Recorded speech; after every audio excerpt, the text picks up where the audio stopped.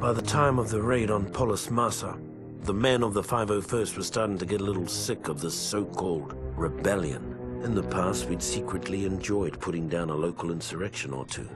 They kept the troops sharp and the Empire feared. But these rebels were different. They were organized, they were growing, and they were everywhere.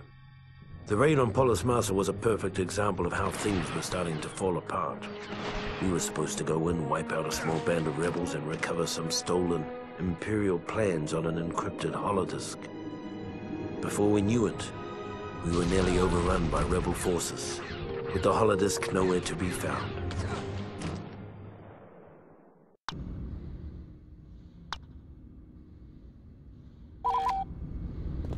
All right, men. Lord Vader wants this raid done by the book. Our first objective is the com center, just beyond this hangar.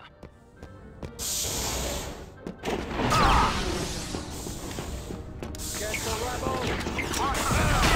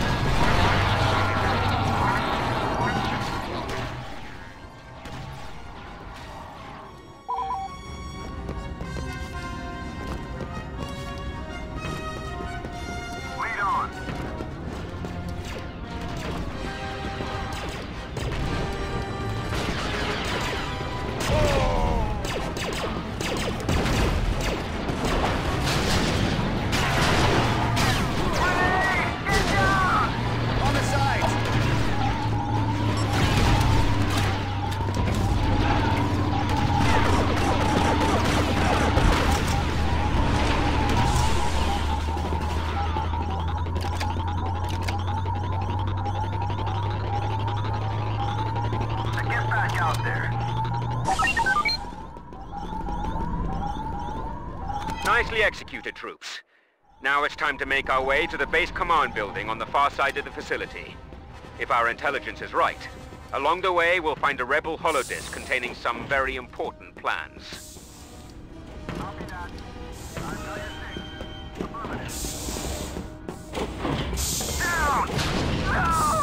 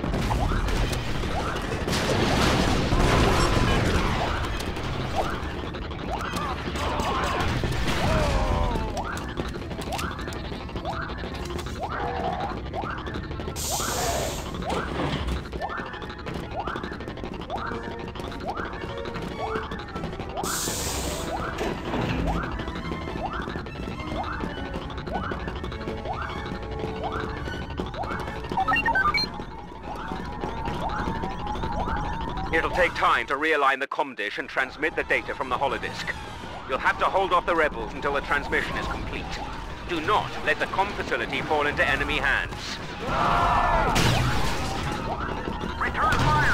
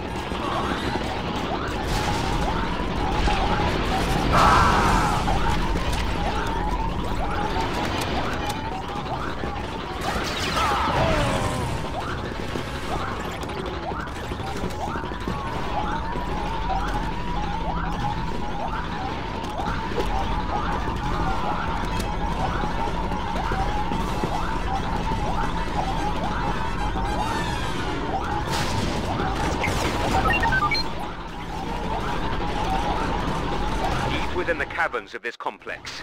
The rebels have a data bank that holds Imperial encryption codes that can be used to eavesdrop on our ship-to-ship communications. Make your way to the caverns and destroy the data bank.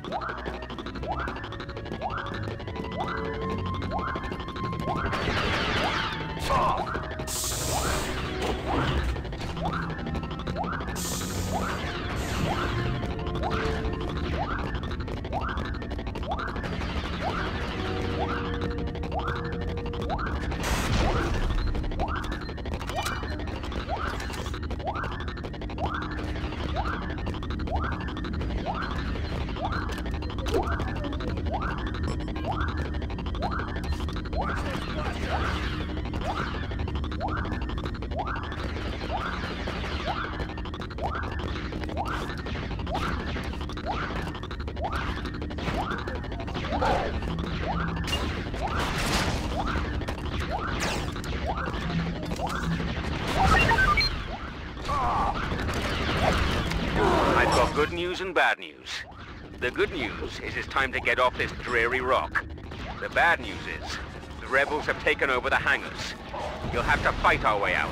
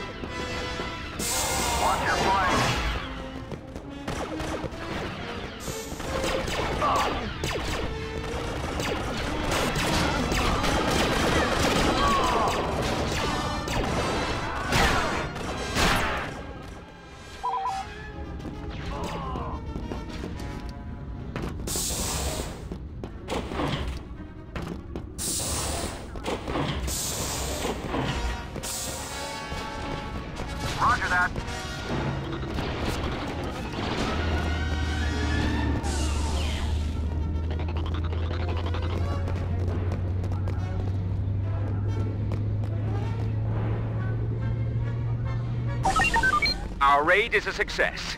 And even though the holodisc didn't have the plans we're looking for, it will lead us to someone who does. Fine.